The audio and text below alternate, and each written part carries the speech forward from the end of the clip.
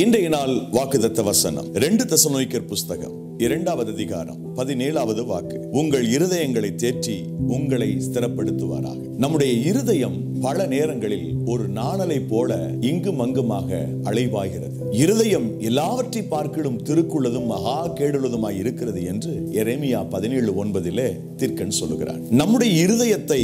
ஆண்டவர் தேற்றி